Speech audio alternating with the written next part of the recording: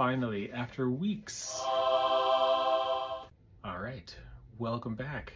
We have several updates and also if you've been following along, some really good news. So first, we got three new subscribers. That brings us up to 304. So that means three more Minecraft blocks are going on the wall. Welcome to all the new subscribers.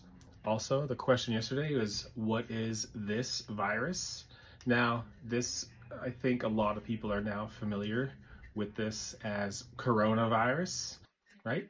But uh, if you said flu or something like that, the flu looks very similar. Uh, I love this filament. I think I'm probably gonna put a lot more stuff in it. But also, I found this model, and it's a fidget. It has like basically pictured as like gaming joysticks for the Corona, the crown around it, and it's very satisfying to play with. Uh, there are several more models that I found that have similar fidget to that, but it's awesome. But, but, the big news. Finally, after weeks. Wow!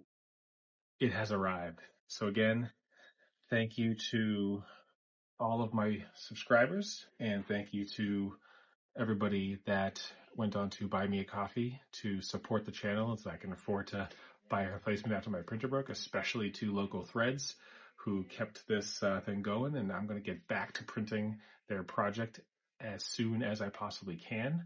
Um, I'll probably make a video about trying to salvage the failed print that broke my printer originally and uh, possibly the installation process of the new one, which is pretty quick.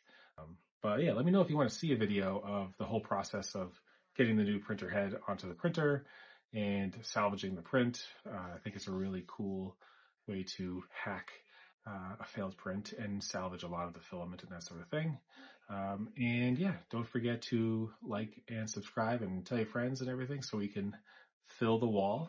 And uh, stay tuned for future videos that I'm making about these various virus models that I have here. See you in the next one.